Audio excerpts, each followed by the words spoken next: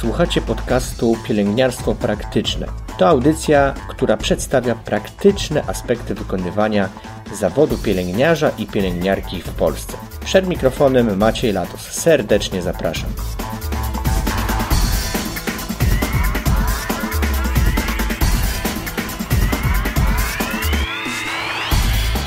Cześć, witam bardzo serdecznie w pierwszym odcinku e, podcastu Pielęgniarstwo Praktyczne. W tym odcinku zajmiemy się e, kaniulacją żył obwodowych, a w zasadzie mm, takim artykułem, który został opublikowany w mm, takim czasopiśmie Nursing w 2015 roku pod nazwą For Sloppy e, IV Mistakes You Should Avoid, czyli mm, w luźnym tłumaczeniu powiedzmy cztery zaniedbania podczas kaniulacji E, żył obwodowych. E, pisałem o tym na blogu. Jeśli ktoś jest chętny, to takie swobodne tłumaczenie jest tam dostępne. Link oczywiście w notatkach umieszczę. Natomiast krótko opowiem, co autor mm, pisał i sami na końcu zdecydujecie, czy się z tym zgadzacie, czy nie. Nie jest to do końca moje zdanie, aczkolwiek bardzo mm, przyjmuję sobie do serca to, co ten autor napisał, ponieważ uważam, że e, pisze bardzo rozsądnie. Cztery punkty, mm, które każdy medyk powinien sobie przy, mm, przy sercu gdzieś tam trzymać, czyli pierwsza rzecz, nie zrzucaj winy za niepowodzenie kaniulacji na żyły pacjenta. No, w końcu żyły nie są temu winne. Mówienie komuś, że e, ale ma pan żyły, no, to nie do końca, do końca jest prawda? Natomiast jest to na pewno nasz częsty nawyk i bardzo często to niepowodzenie uzyskania dostępu do żylnego usprawiedliwiamy właśnie stanem żył pacjenta. No, ale przecież to my zostaliśmy nauczeni, aby tę czynność wykonywać, a nie pacjent, prawda? E, szczególnie, że mm, nie tak dawno jeszcze trafiłem na taką dyskusję mm, na, na Instagramie bodajże o tym, czy opiekunowie medyczni powinni zacząć e, zakładać dostępy dożylne, obwodowe. E, no i tam właśnie grono naszego środowiska pielęgniarskiego, przede wszystkim i ratowniczego, nie wszyscy, ale bardzo dużo, uważali tę czynność za rzecz świętą. Więc jeśli uważamy tę czynność za rzecz świętą, to musimy być fantastycznie wyszkoleni do jej wykonywania. Pamiętamy o tym, że pacjent nie jest w stanie nam pomóc, e, no w zasadzie w ogóle, e, oprócz tego, że będzie z nami współpracował tak, jak my go poprosimy, bo generalnie w praktyce bardzo rzadko mamy do czynienia z takimi pięknymi żyłami, które można kłuć bez stazy, jak to się mówi, więc tak naprawdę nie powinniśmy przede wszystkim usprawiedliwiać się przed pacjentem, bo nie mówię, że nie mamy racji w tym, że żyły są w kiepskim stanie, są kruche, są umieszczone głęboko, albo są za cienkie, albo są zakręte. No, generalnie tak czasem bywa i oczywiście to jest jakaś przyczyna naszego niepowodzenia.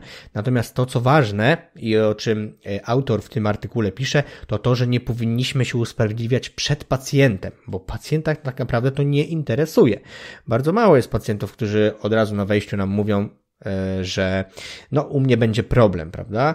Jeśli ponieśliśmy porażkę, nie udało nam się, no to się zdarza i to jest normalne, gdyż to nie jest kopanie ziemniaków. E, wystarczy powiedzieć przepraszam i spróbować jeszcze raz.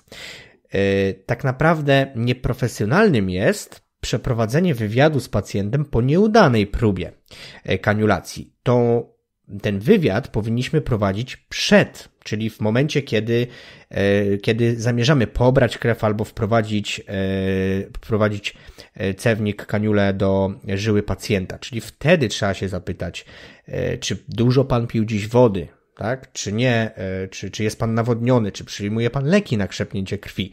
No, umówmy się, że wielokrotnie jest tak, że wydaje nam się, że żyły są bardzo, mówiąc potocznie, ładny i udaje nam się bardzo szybko, e, szybko trafić, no i wtedy nam się nie udaje i pada to magiczne pytanie, dużo pan pił dziś wody? No chyba nie, bo te żyły są jakieś puste, prawda? Więc myślę, że to jest bardzo ważne, czyli ten wywiad prowadzimy przed, no i nie usprawiedliwiamy się przed pacjentem, to my jesteśmy zawodowcami, którzy te żyły muszą znaleźć. Druga rzecz, nie dezynfekujemy miejsca w kłucia, jeśli za chwilę znowu je dotkniemy brudną rękawiczką, tak? Yy, no bo umówmy się, każdy o tym wie, że raz zdezynfekowane miejsce wkłucia, taki musi pozostać do końca procedury. No a wielokrotnie jest niestety tak, że jeszcze się upewniamy, dotykając miejsca i, i kontaminując je z powrotem. No oczywiście, no jakby to upewnienie się w ostatniej chwili, mm, że naczynie, które czuliśmy tam jest i, i które je tam widzieliśmy, no to jakby jest takie nie, nie do powstrzymania często, no ale po to jest ta dezynfekcja, prawda? Czyli e, jeśli raz dezynfekujemy to miejsce wkłucia, no to już nie sprawdzamy, nie potwierdzamy tego, czy ta żyła tam jest i czy ona czeka, aż nasza igła w nią wejdzie. No nie. E, nie utwierdzamy się w tym e, przekonaniu, no po prostu brudzimy czyste miejsce, które sami zdezynfekowaliśmy, tak? Generalnie generalnie widzimy to miejsce, lokalizujemy je, dezynfekujemy skórę, no i cóż, wiara w siebie i, i kujemy. Trzeci punkt, który przedstawia autor w tym artykule, to jest to, aby nie prosić pacjenta, żeby otwierał i zamykał pięść. Ja sam nauczony tego przez personel e, doświadczony w pobieraniu krwi na różnych praktykach i stażach, sam oczywiście pierwsza rzecz e, to mówiłem, proszę popracować dłonia. No według autora nie prosimy o to, ponieważ nic to nam nie daje. No, chyba, że nie czujemy się przekonani, ten element musi być taką nieodzowną częścią naszej procedury. E, natomiast ja sam po przeczytaniu tego artykułu spróbowałem i teraz już nie proszę e, pacjentów, aby pracowali e, dłonią.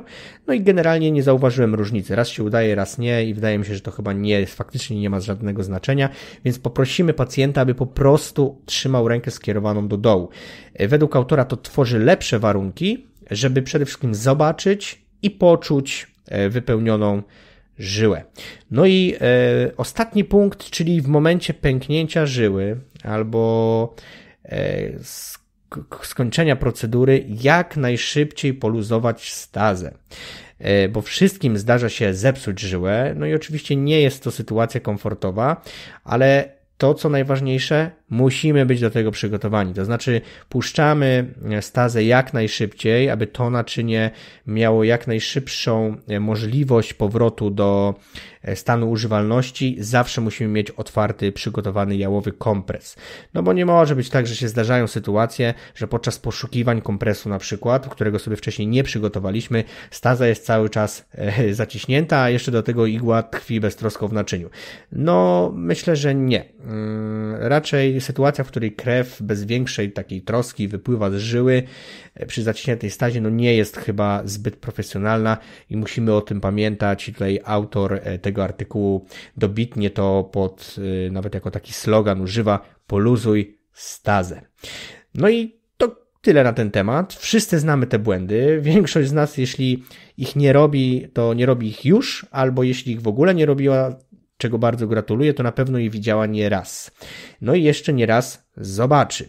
Natomiast warto mm, pochylić się gdzieś nad tym, co pisze ten autor, ponieważ w mojej opinii jest dużo, dużo w tym prawdy, e, a te zasady, niestety, które łamiemy, często wynikają z naszego zaniedbania. A jednocześnie jest ich bardzo, ale to bardzo łatwo uniknąć. Dziękuję bardzo za uwagę. Przed mikrofonem Artykuł o, e, o kaniulacji żył przedstawiał Maciej Latos. Do usłyszenia w następnym odcinku. Tego oraz innych odcinków wysłuchasz w aplikacjach mobilnych oraz na stronie internetowej intensywnoterapia.com.